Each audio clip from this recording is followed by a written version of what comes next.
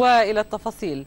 علمت المصري اليوم أن الرئيس عبد الفتاح السيسي اتصل هاتفيا بعبد المحسن سلامة نقيب الصحفيين المنتخب لتهنئته بفوزه بمقعد نقيب الصحفيين وذلك عقب إعلان فوزه رسميا بالمقعد.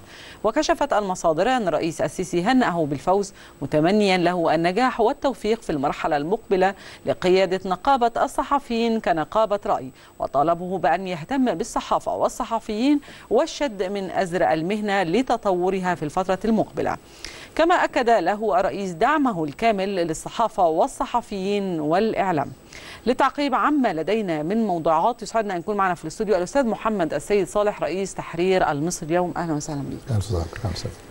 حضرت الانتخابات كنت موجود منذ البدايات منذ بداية الانتخابات وحتى إعلان النتيجة. اولا أطلعنا على كواليس هذه الفترة كاملة وثانيا تعقيبك على موضوع مكالمة الرئيس السيسي لنقيب الصحفيين المنتخب. هل تعتقد أنها بداية حقبة جديدة ما بين الدولة والنقابة؟ والله سؤالين مهمين بس خلينا نبدأ من اول الكواليس تقريبا بقت معروفة للعلن ولكن خلينا أعلق أكتر زي ما عملنا في الطبعه الثانية بتاعت النهارده. أقول إن هو كان يعني يوم ساخن في وسط القاهرة ينتهي بفوز عبد المحسن سلام. كنت متوقع الفوز إلى حد كبير كنت متوقع الفوز رغم شعبية يحيى اللاش رغم الجدل الساخن. ولكن دايما خلي بالك كنت بقول الفترة اللي فاتت دي إن في إلى حد ما السياسة غائبة أو شبه غائبة عن البلد. فبتيجي انتخابات الصحفيين بما لها من شد وجذب وشعبية للأسرة الصحفية وتواصلهم. هم رجال الإعلام فمتواصلين في كل مكان. فبتعمل حراك سياسي وحراك صحفي وحراك في العالم كله مش في مصر بس الكل بيتفرج عليه. فاعتقد أعتقد كان يوم ناجح جدا ودير بامتياز. وادى رسائل كويسه الرسالة إن في نقيب ينتمي إلى مؤسسة قومية لا ينتمي. أنا قلتها للأستاذ عبد المحسن الاثنين أصدقاء على فكرة ولكن قلت له لأول مرة ما يكونش فيه مصطلح مرشح الدولة ولكن ينتمي المؤسسه ولكن ده أنا شافه كويس جدا. و إدينا رسالة الأسرة الصحفية إدت رسالة مهمة جدا إن في نقيب خارج الأزمة الشهيرة بين الدولة وبين وبين النقابة ولكن في نفس الوقت تم اختيار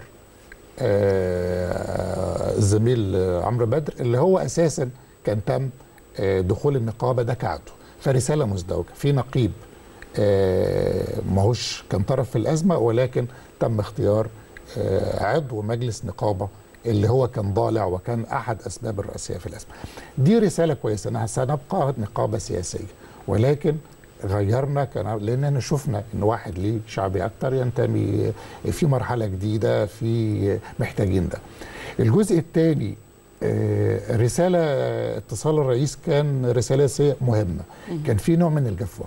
فيها من الطرفين فيها من الطرفين أنا أقول لك أنا واحد من الصحفيين واللي إحنا عملنا اشتغلنا في شهر خمسة اللي فات شغل رائع جدا. كما زينا زي الصحافة القومية. مش هقول لك إن إحنا كنا في أزمة النقابه الشهيرة اللي إحنا سميناها اقتحام نقابه اشتغلنا زي الشغل القديم. ففوجئنا برد فعل رسمي قوي وقاسي جدا. فعمل فيه شرخ. مش عايز ألوم حد ولا عايز ألوم يحيى علاش ولا عايز ألوم كل اللي معاه إحنا اشتغلنا زي ما اشتغلنا مع إبراهيم نافع في 95 ولكن الرد كان قاسي. يمكن خدنا الخطوة للخلف وبعدين إنما لابد أن تكون هناك علاقات ثقة وقوية مع الدولة ايا كانت الدولة. وهذا تقديرك للمرحلة المقبلة. من المرحله المقبلة. أنا شايف إن هي بثمن اتصال الرئيس بالنقيب الجديد أو يثمن خطواته. ولكن أنا ليا في المقابل ليا طلبات. إيه تعالى بقى نقعد في مشاكل مهمة. مشاكل مهنة متعلقة بالورق متعلقة بالأجور متعلقة ده لابد أن نبحث متعلقة بحاجة تانية ال ال ال ال العلاقة مع الوسط نفسه. العلاقه مش مع الرئاسة بس الرئاسة ده ده اتصال يعني المفروض نبني عليه. ولكن اتصال مع الرأي العام كان هناك نوع من الفجوة أحدثت في الفترة الأخيرة وبد أن تعود. في نقطة مهمة لابد أن يكون هناك نوع من الوفاء لشيوخ مهمين جدا. دكتور عبد المنعم سعيد بيكلمنا النهارده لقيت لقطة لقطة مهمة جدا. ليه مفيش حد تذكر مأساة مثلا ولا مشكلة الأستاذ إبراهيم نافع؟ الأستاذ إبراهيم نافع نقيب الصحفيين كان كل بيتردد اسمه في كل حاجة. لما تدخلي النقابة هو اللي كان بنيها بدعم من الدولة بقوة من أيام الرئيس الاسبق حسني مبارك. لم يتذكره أحد مطلقا. بالرغم ان لا أنتمي سياسيا ولم أكن أنتمي إلى إبراهيم نافع ولكن أعتقد في المرحلة القادمة ومفروض نقيب الصحفيين مفروض الأسرة يتذكروا كل الشيوخ اللي أدوا آه، للمهنة شيء آه، نوع من الوفاء في المرحلة آه، القادمة. قال السفير علاء يوسف المتحدث باسم